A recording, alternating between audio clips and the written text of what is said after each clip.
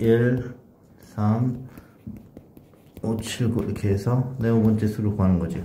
네. 그럼 첫 번째 수는 1이지. 네. 몇씩 더하고 있어? 이식이요.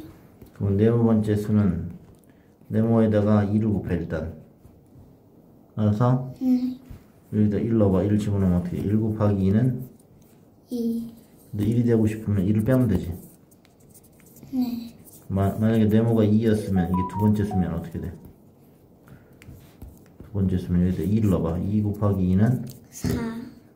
빼기 1은 3. 나오잖아.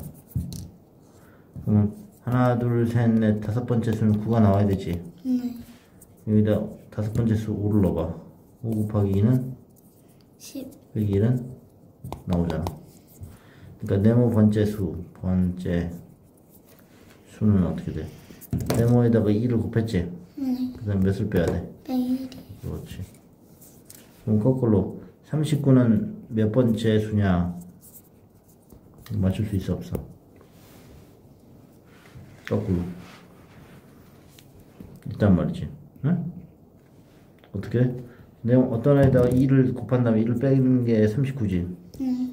그럼 어쨌든 1을 뺐는데 39가 됐으니까. 그 전에는 누구야? 40이 나와야 돼, 안 나와야 돼? 나와요. 근데 뭐에다 두 배를 했더니 40이 됐다? 20. 그러니까 이거는 39는 몇 번째 수다? 20번째 수라는 걸 알 수 있는 거야.